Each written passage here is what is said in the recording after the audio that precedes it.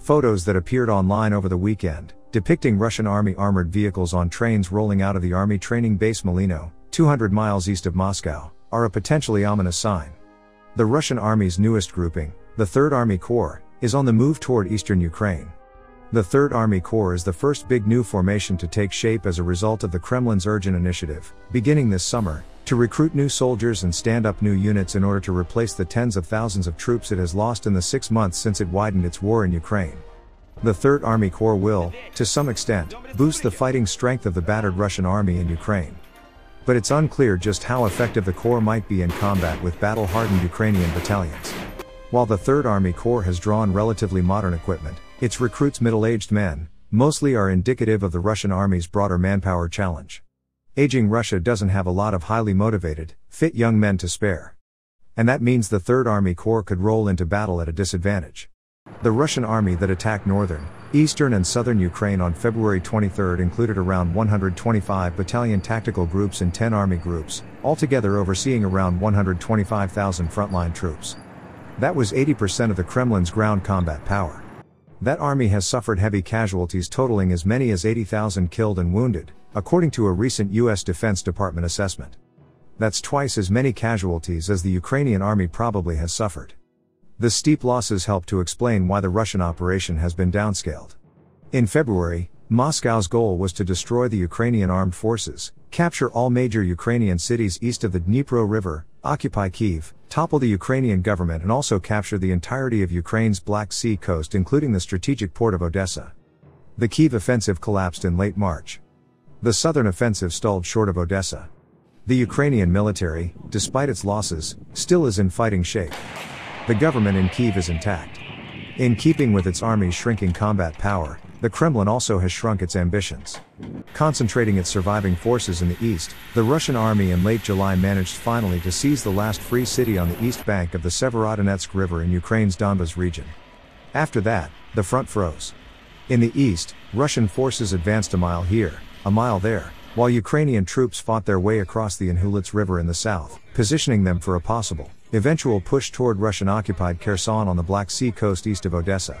Neither army is likely to gain much ground unless and until it restores the combat power it has lost since February. The Kremlin back in May began scraping together fresh battalions by raiding the training and garrison establishment of existing brigades.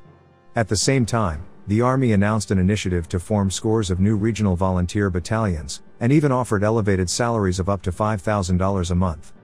The recruitment drive immediately collided with Russia's unhappy demographics and conscription practices.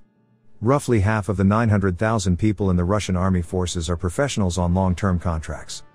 The other half is conscripts between the ages of 18 and 27. The conscripts serve just one year and, by law, aren't supposed to see combat.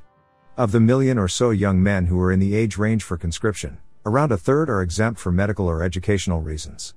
Twice a year, the Kremlin taps roughly 200,000 of the 700,000 who are eligible for the year long military service there's not a lot of excess manpower in the conscription pool. For the most part, these are not the men who will fill out the volunteer battalions. Instead, the Kremlin is targeting older men, 2 million of whom have previous military experience and technically belong to the military's reserve. It's not for no reason that Russian President Vladimir Putin in May signed a law removing the 40 year age limit on new recruits.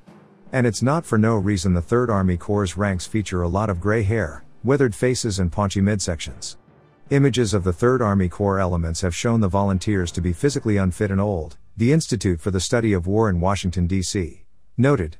Potentially worse for their prospects in combat, the 3rd Army Corps and other new units are minimally trained and lack experienced non-commissioned officers.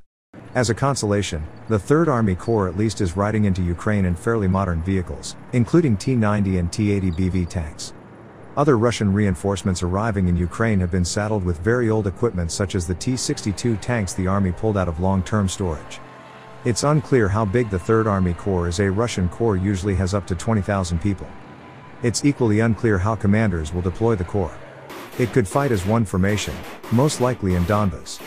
Or commanders could break it up into brigades and battalions in order to plug holes in the army groups that already are in Ukraine and have buried thousands of their best troops.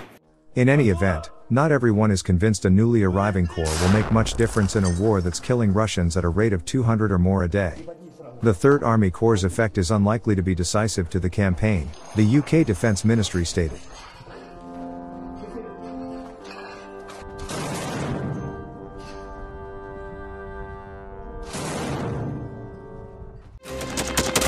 Thanks for watching, and don't forget to subscribe.